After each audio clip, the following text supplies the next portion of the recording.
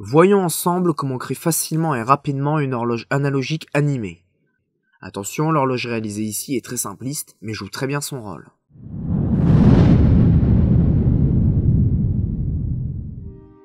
Tout d'abord, créez les éléments nécessaires à l'horloge, le cercle ou le disque, les aiguilles des heures, minutes, secondes. Vous pouvez passer par les outils plume et ellipse, mais il est plus simple avec les points d'ancrage de créer des titres.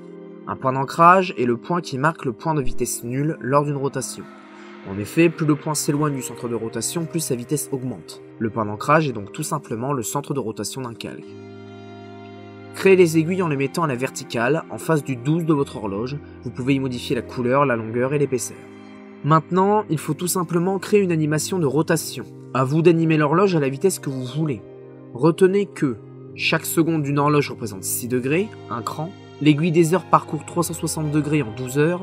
Celle des minutes parcourt 360 degrés en 1 heure. Celle des secondes en 1 minute.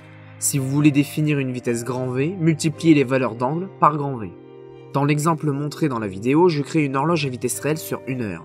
Je mets donc mon aiguille des heures à 0 degré au départ, puis à 30 degrés au bout d'une heure. Mon aiguille des minutes à 0 degré au départ et à 360 degrés au bout d'une heure, car l'aiguille des minutes parcourt une fois le tour du cadran pour arriver à une heure. Puis l'aiguille des secondes à 0 degré, puis au départ à 60 fois 0 degré au bout d'une heure, car l'aiguille des secondes a fait 60 fois le tour du cadran pour 60 minutes. Après, vous pouvez imbriquer votre séquence et en modifier la vitesse comme cela vous chante. Pour en savoir plus sur les variations de vitesse et sur le remappage temporel, cliquez en haut à droite pour voir ma vidéo sur le sujet. Pour créer un mouvement des aiguilles plus saccadé, plus propre à une horloge analogique, vous pouvez, pour l'aiguille des secondes et éventuellement l'aiguille des minutes, décomposer les mouvements. Faites bouger l'aiguille uniquement quelques images après le changement. Créez des images clés Bézier et commencez l'animation par une accélération. Dans la vidéo d'exemple, c'est l'aiguille des minutes qui a été animée comme cela. Si vous ne savez pas ce qu'est une image Bézier, je vous invite à cliquer sur le lien qui vient d'apparaître en haut à droite de l'écran pour voir ma vidéo sur le sujet.